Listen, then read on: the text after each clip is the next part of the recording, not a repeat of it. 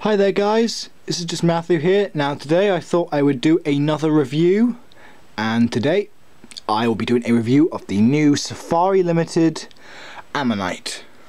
Now as most of you are all familiar with, Ammonites are probably one of the most common and most recognised of all prehistoric marine animals.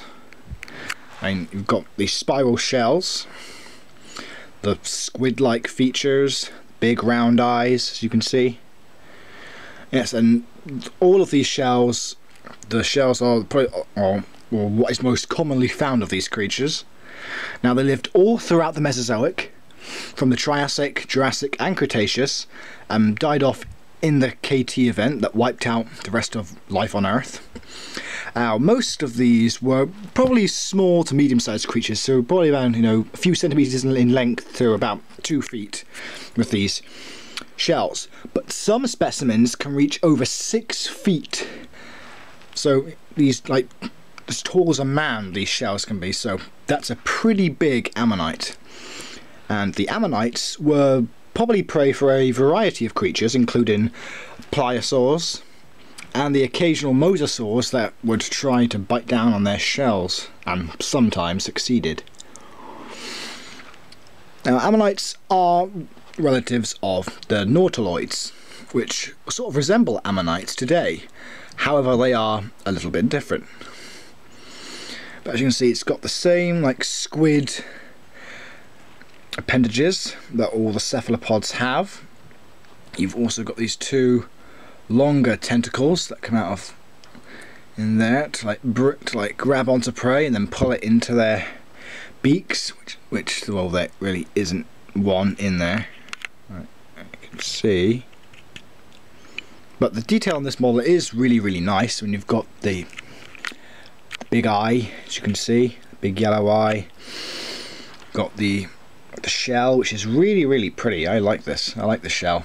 Looks very very nice and all of the tentacles as well see each one is different it's like lashing out at prey like a passing fish or some sort of crustacean and I really like the colour scheme as well. It's like um, orange and red with a little bit of, bit of like yellow, then you've got like a dark, darker brownish red on the shell, and it's like um, it's like charcoal black goes on the head, which I think looks pretty cool. And the eye as well is very, very big, as these guys could probably see in the dark, and they need to as well. And now also, the bottom is this appendage. Now I'm not sure what it's called, but I do know what it is for.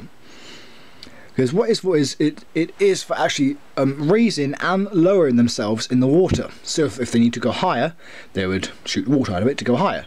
And if they want to go lower then they would just do the do the same to lower themselves in the water. Now it is great that you know, we have got another ammonite model because ammonite models are not normally made even though Bullyland made one a couple of years back however as you can see hang about. Let's see. You can see it is much bigger. And that one does, as you can see in there, has got a beak. Yes, now they probably, I think they are two separate species, I believe. But both of them I, I like. But I think I especially like Safari's much more because it I means the detail on it is very, very impressive. Even though Bullylands came first, but yeah, besides that. But, but yes, this is a very, very great, great model of an Ammonite. Very, very accurate. Um, the detail is really, really nice. I think it's great. Although it is best to put it on like um like a, a flat surface on like a, a ledge because the tentacles they do tend to push the model over. But it's better if they like hang down on something. But yes, very, very good model of uh, an ammonite, and also one of a very commonly known creature, yet very few models of it. So, so no, it's good to see that Safari's branching out and making other other creatures besides dinosaurs and mammals. So um, I do hope you like this review guys. Please comment, subscribe, all that good stuff. I've got two more new model reviews planned, the Nothronychus and the Utahraptor, both from CollectA. And then I will continue to do um, the models that you guys have requested and hopefully when the new CollectA models come on Everything Dinosaur, I'll be reviewing those guys, because I cannot wait for them. So as I, as I said before, please like, comment, subscribe, all that good stuff. Got some great new videos planned, and I hope you guys take care and have a great day. Bye.